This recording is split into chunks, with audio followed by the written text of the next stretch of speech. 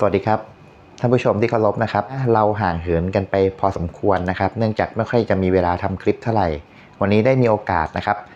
มาทักทายท่านผู้ชมอีกครั้งหนึ่งนะฮะครับผมจะมานำเสนอเกี่ยวกับเส้นลายมือที่ถ้าใครมีเส้นลายมือแบบนี้นะฮะรับรองว่ารวยอย่างแน่นอนเลยนะฮะครับเราจะมาพูดกันเกี่ยวกับเรื่องของเส้นวาสนา ซึ่งเส้นวาสนาที่ผมกำลังจะพูดนี้นะครับ ถ้าใครมีเนี่ย นะครับความหมายคือคุณจะมีกินมีใช้เงินไม่ขาดมือนะครับผมหรือว่าทำอะไรก็จะราบลื่นโอกาสที่จะมีอุปสรรคติดขัดเนี่ยค่อนข้างที่จะน้อย ซึ่งนะครับเส้นวาสนาที่ผมกำลังจะบอกท่านผู้ชมอยู่นี้นะฮะก็เป็นเส้นวาสนาที่เกิดจากบริเวณริมมือของเรานี่เองนะฮะนะครับอยู่บริเวณเนินวิปริตนะฮะแล้วก็เนินอ่อนโยนนะครับซึ่งผมจะอธิบายอยู่ในคลิปว่า เส้นที่เกิดจากเนินวิปริตหรือเนินอ่อนโยนเนี่ยมันเป็นยังไงกันบ้างนะครับก่อนที่ท่านผู้ชมนะฮะจะรับชมคลิปดีๆนี้นะครับ ฝากกด subscribe เป็นกำลังใจให้ผมด้วย แล้วก็เราไปติดตามพร้อมๆกันครับผม เส้นวาสนานี่นะครับเกิดจากหลายตำแหน่งได้บนมือนะครับ บนฝ่ามือของเราเนี่ยนะครับ ซึ่งเส้นวาสนาเนี่ยสามารถจะมีจุดกำเนิดจากหลาย ๆ ที่ได้เลยนะครับ แต่หลักๆเลยคือวิ่งตรงเข้าหาบริเวณโคนนิ้วกลาง นะครับแต่เส้นวาสนาที่ผมกำลังจะคุยกับเพื่อนๆเนี่ยนะที่เกิดนำไปนะฮะก็คือเส้นวาสนาที่อยู่บริเวณเนินจันทร์นะฮะแล้วก็อยู่บนบริเวณเนินวิปริตนะครับแล้วก็เนินอ่อนโยนนั่นเองนะครับให้เพื่อนๆนะครับลองแบมือขึ้นมานะครับแล้วก็สังเกตนะครับบริเวณเส้นกลางมือเนี่ยนะครับกับบริเวณอ่า ตรงตรงนี้นะฮะเรียกว่าเส้นข้อมือเนี่ยเส้นกำไลหรือเส้นข้อมือเนี่ยนะครับแล้วแบ่งส่วนนะฮะออกเป็น 4 ส่วนเท่า ๆกัน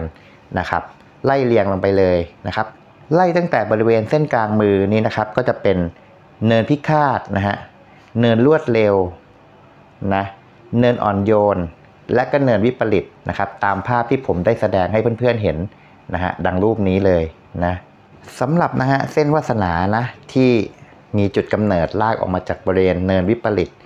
นะความหมายก็คือคุณเนี่ยจะรวยแบบไม่คาดฝันเลยนะฮะรวยแบบบังเอิญ ไม่ว่าจะเรื่องจากมรดกทรัพย์สินนะฮะที่พ่อแม่หรือญาติพี่น้องเนี่ยให้คุณมาก็ได้ หรือร่ำรวยจากการเสี่ยงโชคนะหรือว่าร่ำรวยจากการที่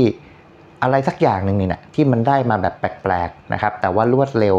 ทำให้คุณเนี่ย รวยแบบพลิกชีวิตได้เลยนะฮะตรงนี้นะเราเรียกกันว่าเส้นวาสนาที่ออกจากเนินวิปริตนะครับความหมายจะเป็นประมาณนี้เลย หรือแม้แต่นะฮะผู้หลักผู้ใหญ่เนี่ยนะครับอาจจะชวนให้คุณเนี่ยไปเป็น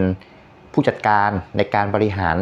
องค์กรขนาดใหญ่ของผู้ใหญ่ท่านนั้นนะฮะแล้วก็มีแบ่งส่วนเปอร์เซ็นต์ให้กับคุณนะฮะให้กับผู้จัดการ ซึ่งธุรกิจนั้นน่ะมันดันปังซะด้วยนะฮะคุณซึ่งเป็นคนที่ดูแลให้กับผู้หลักผู้ใหญ่คนนั้นน่ะ คุณก็จะได้รับส่วนแบ่งอย่างแบบไม่คาดฝันนะฮะเป็นการรวยแบบตามผู้ใหญ่เลยง่าย ๆนะฮะรวยแบบปัจจุบันทันด่วนนะฮะก็เป็นแบบเรื่องแปลกๆนะครับ ซึ่งตรงนี้นะมันบ่งบอกเกี่ยวกับเรื่องของความร่ำรวยแบบเซอร์ไพรส์เลยนะฮะสำหรับคนที่มีเส้นวาสนาออกมาจากเนินวิปริตนะครับสำหรับอีกเส้นหนึ่งนะฮะก็คือเส้นวาสนาที่เกิดมาจากเนินอ่อนโยนนะอันนี้จะแตกต่างกันแบบแบบแรก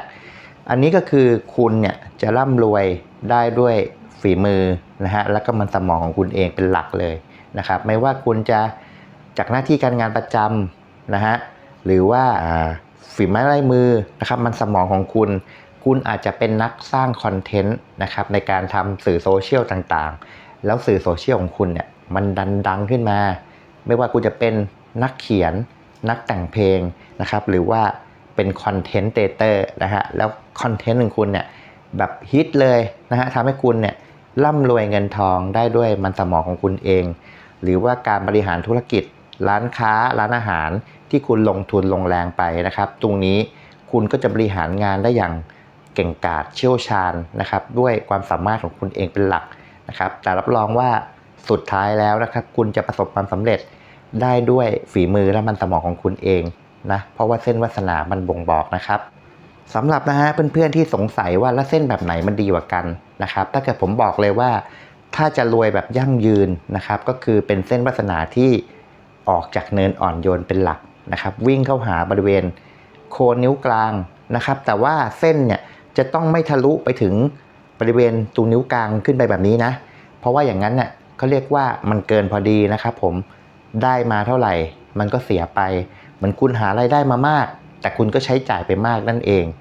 เป็นไงบ้างครับสำหรับวันนี้นะ เส้นวาสนาที่ผมนำมาแนะนำเพื่อนๆ ก็ลองไปเช็คกันดูแบบง่าย ๆ เลยนะฮะ เราก็จะแนะนำกันแบบง่าย ๆ แบบนี้ ว่าคุณเนี่ยมีเส้นวาสนาที่ออกจากบริเวณ 2 เนินที่ผมได้บอกไปหรือเปล่านะครับ ถ้าชื่นชอบคลิปนี้นะครับ ฝากกด subscribe ไลค์แชร์เป็นกำลังใจให้กันด้วย แล้วพบกันใหม่ในโอกาสหน้าครับผม ไปแล้ว สวัสดีครับ